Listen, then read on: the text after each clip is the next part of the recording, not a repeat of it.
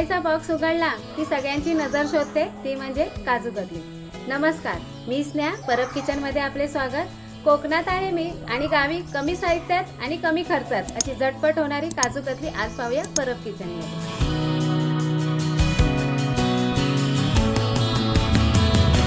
आपण दोनशे ग्राम काजू घेतले आहेत शंभर ग्राम साखर घेतली आहे वाटून नाही घेतली जाडी घरातली रोजची साखर.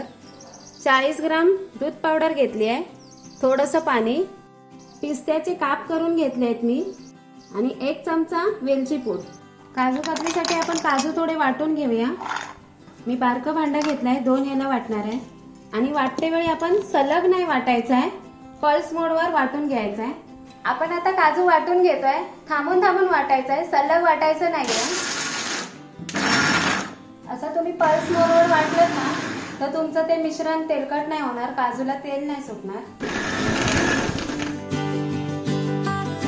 अशी काजूची पावडर झाली पाहिजे सुटसुटीत. आता हे आपण एका भांड्यामध्ये काढून घेऊया. आपण गॅस पेटवतोय. कढई तापण्यासाठी आग मोठी केली आहे. आणि ह्याच्यात आपण प्रथम साखर घालून घेऊया. आता साखरेच्या नंतर लगेच मी पाणी ओतते थोडस. फक्त साखर बुडाली पाहिजे. पाक करून घ्यायचा आहे काजू कतली करते वेळी? पाक व्यवस्थित झाला पाहिजे. जसा आता हा पाक होईल तसं मी दाखवेन तुम्हाला. पाक जर तुमचा व्यवस्थित झाला नाही तर एकदम काजूकतली तुमची दगडासारखी तरी होईल किंवा तुम्हाला ती लाटताही येणार नाही कारण ह्याचा आपण लाटी तयार करणार आहोत. बोटाला आपण असा चिटकून घ्यायचा आणि असा चिपकून बघायचा अंगठ्याच्या साह्याने. एक तार येते. आहे अजून थोडा वेळ आपण पाक करूया. आता याची दोन तार यायला लागली आहे. पाहू शकता तुम्ही. आता आपण गॅस बंद करूया. आता जे काजू आहेत ते आपण वाटून घेतलेले ते घालून घेते मी.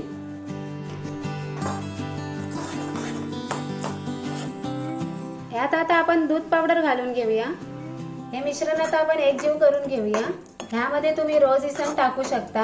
आवडीनुसार तुम्हाला वेलची पावडर. मी वेलची पावडर घालते. शक्यतो काजू कतली आपली अशी प्लेनच असते. तिला एक काजूचा आणि दूध पावडरचा वेगळा स्मेल येतो. पुन्हा आपण गॅस पेटवतोय. मंद आचेवर आपण आता हे मिश्रण ढवळून घेऊया. सुकेपर्यंत. मिश्रण पातळ झालं तर घाबरायचं नाही. जसजसं हे थोडंसं आटेल आणि थंड होत जाईल तस तसं हे मिश्रण घट्ट होत जातं. आता मी गॅस बंद करते. आपण पाच दहा मिनिटासाठी ही मिश्रण थंड होण्यासाठी ठेवून देऊया. हे आता आपण एका ताटामध्ये काढून घेऊया. आणि पसरून ठेवूया. तोपर्यंत आपलं मिश्रण चांगलं थंड होईल.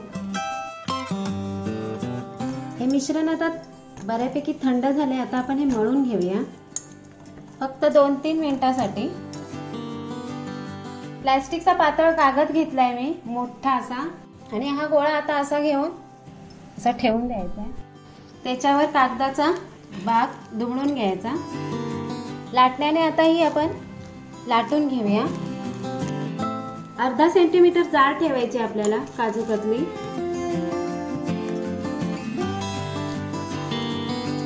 इतकी जाड ठेवली आहे मी. आता आपण हा कागद उचलूया. मस्त. मी गावामध्ये आहे त्यामुळे मला काही वर्क मिळाला नाही. नाहीतर तुम्हाला जर वर्क मिळाला तर तो नक्की लावा. छान दिसतात. नाही लावला तरी चालेल.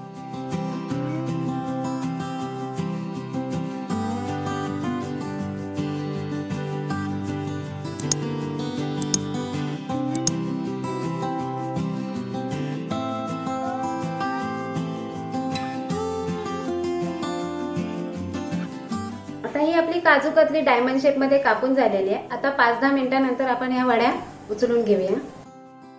आता ही अशा पद्धतीने झाली आहे. अजून थोडा नरम आहे. नंतर व्यवस्थित सेट होणार. जसजसं थंड होणार हे. गावी असल्यामुळे मला काही वर्क मिळाला नाही. तरी सुद्धा मी त्याच्यावर पिस्त्याचे काप घातले बघा अशी किती छान दिसते. अशी ही काजू कतली तुम्ही नक्की ट्राय करा. Parab kitchen like share subscribe करा.